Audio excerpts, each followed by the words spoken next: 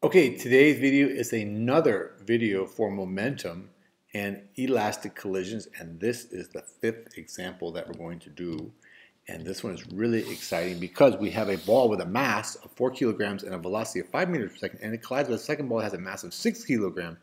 And that mass is moving in the opposite direction with a velocity of minus 5 meters per second. So it's moving in the opposite direction it has a speed of 5 meters per second. So that's a velocity of minus 5 meters per second. Moving in the opposite direction. One moving in the positive direction, one moving in the negative direction. And we want to know what is the velocity of each of those after that perfectly elastic collision. So I like to first of all, because I got two masses and two velocities, and I'm easily confused, I like to write them down. So M1 is 4 kilograms. V1 initial, the initial velocity of mass number one is 5 meters per second. And for M2 at 6 and minus 5. And then let's make a picture because we want to know what is the, the final velocity of number 1 and the final velocity of number 2. And you see we have two masses. They're moving in opposite directions. They're moving towards each other and they're going to have a perfectly elastic collision. And we want to know what is the final velocity of each of those. And we're going to do that right now because we wrote everything down. We're going to get out our equations. We have two equations. They look a little complicated, but by this time it shouldn't be too much. Shouldn't be too much complicated. Shouldn't be too complicated. And this is the equation we use to get the final velocity of the first mass, and this is the equation we use to get the final velocity of the second mass. Mostly just adding, subtracting the masses, and then multiplying times the velocities. And we're going to do the first one first. So this is the final velocity of mass number one. And we're just going to plug our values in make sure we do our math and our algebra right. It's just m1 minus m2, which is 4 minus 6. We add those two together, and we multiply the initial velocity of mass number 1, which is 5. And then we have to remember to use our negative sign because the initial velocity of mass number 2 is in the opposite direction, which is negative.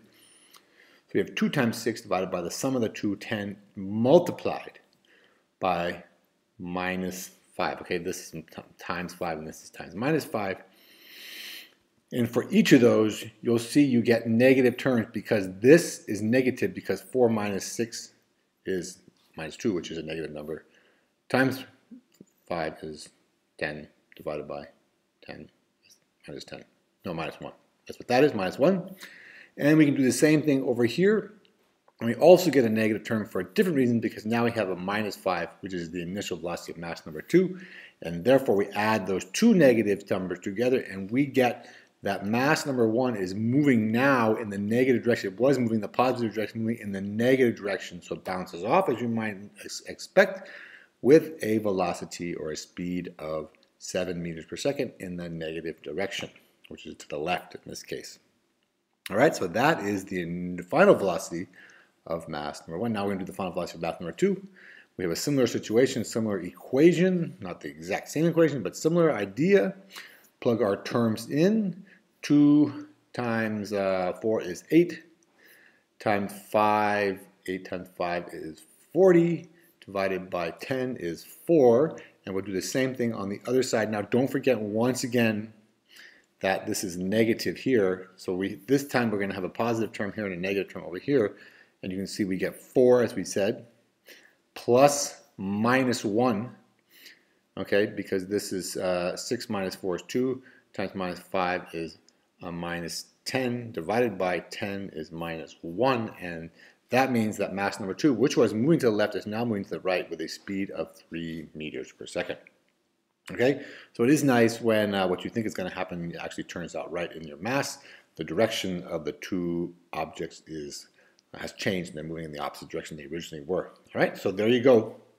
Um, we had the final velocity of mass number one is minus 7. The final velocity of mass number 2 is 3, and this next nice to draw a little picture again since we have a second here. And you can see they just bounce each other off each other and move in the opposite directions like that. Okay, so there you go. I hope you found that helpful. Uh, if you did, please do all the following four things. Four things. Don't forget all four of these things. Do all four of these things. Subscribe to my channel. Get all my excellent physics, chemistry, and math videos. Thumbs up for this video. A nice positive comment in the comment section below. And don't forget, as I mentioned before, I think I mentioned this in the last video too, sharing is caring. Share this video with all of your friends. And that's right, show them how much you care. It is the holiday season. Thank you very much for watching. We'll see you in the next video.